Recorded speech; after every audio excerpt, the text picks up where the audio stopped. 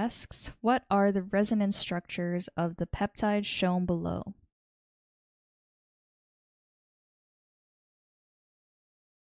Okay, so let's draw out our peptide.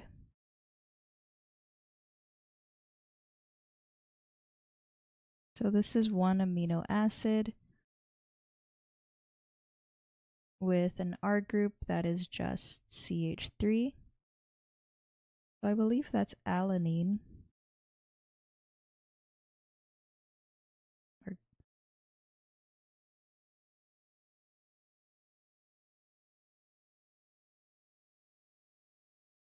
And then this is our second amino acid in the peptide,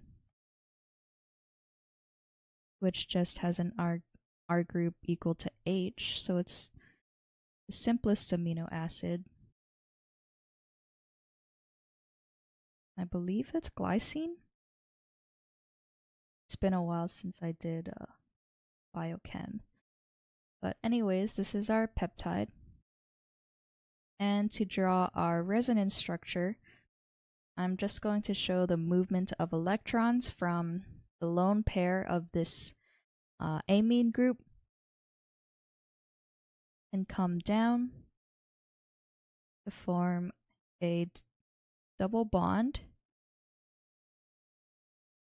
leaving the carbonyl group to have a negatively charged oxygen.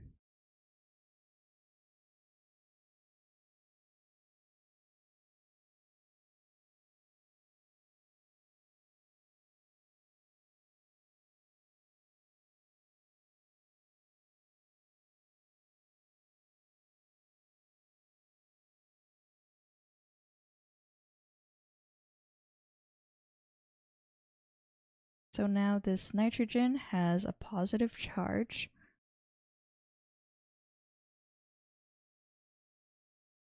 And everything else just stays the same.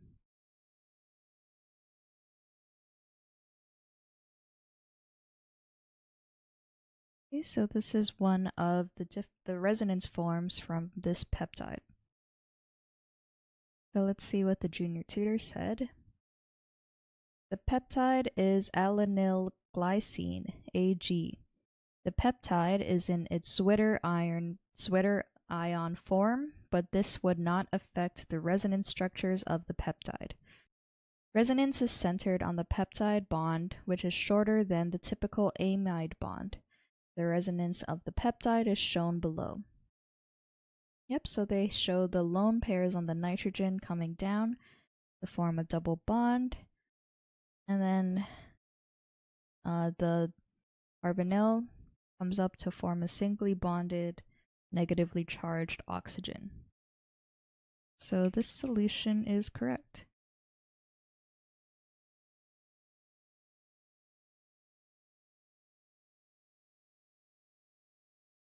Okay, so on to question number five.